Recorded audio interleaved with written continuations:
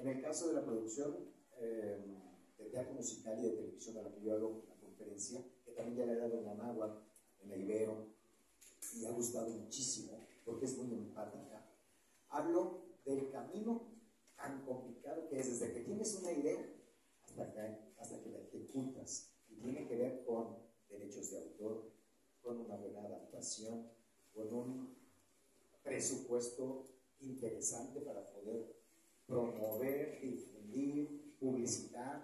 mantenerlo, por ejemplo, en cartelera y después cómo venderlo más allá de tu lugar de origen. Es decir, aquí tenemos un teatro, pero hay más de 20 productores en el país que tienen que estar buscando un teatro y hay filas, porque cada vez hay menos teatros, porque cada vez es menos negocio.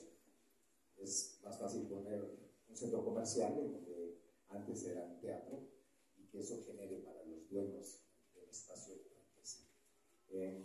El caso de Jesse Cervantes va a ser muy interesante conocer como un locutor de radio con una voz interesante se convierte en director de una de las estaciones más importantes de Latinoamérica. Lo interesante aquí es que también es una historia de mucha paciencia y de mucha tolerancia.